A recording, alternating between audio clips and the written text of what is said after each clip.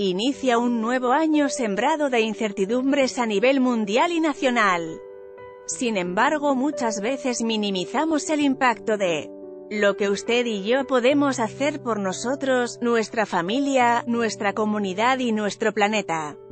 Pensando en esto me viene a la mente lo que Base C. Hipper, un niño holandés de 12 años, decidió hacer por su hermana Laura, de 11, quien tiene diabetes tipo 1.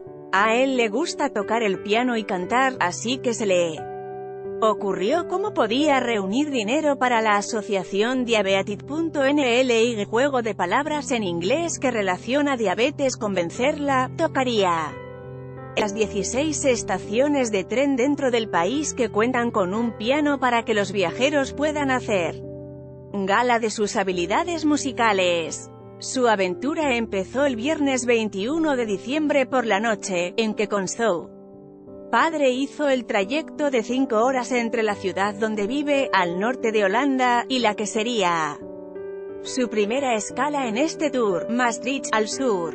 Ahí tocó el sábado 22 a las 6 de la mañana.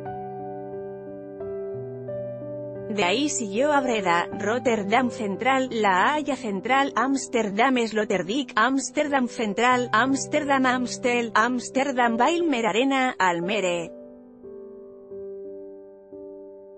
Utrecht, Central, Nimega, Enschede, Suole, Leeuwarden, Groninga y Berendam donde terminó a la una y media de la madrugada del Domingo. A su casa llegó agotado pero feliz.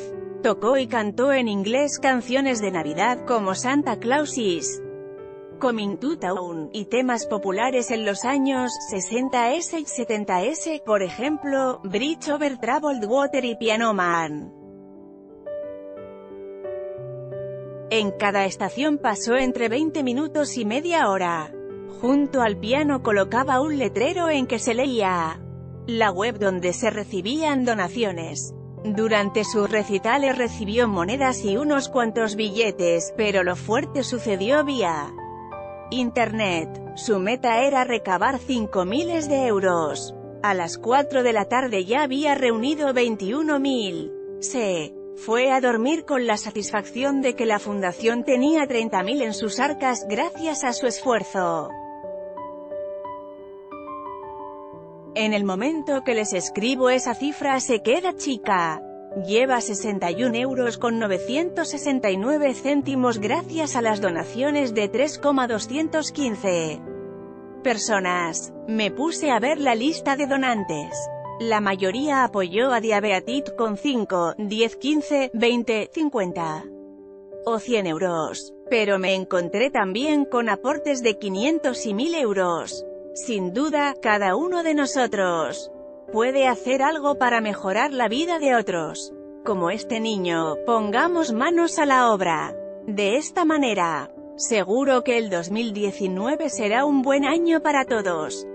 Recuerde que, el simple aleteo de una mariposa puede cambiar el mundo, cualquier comentario relacionado con este artículo, favor de dirigirlo a mestrada@elsoldemexico.com.mx.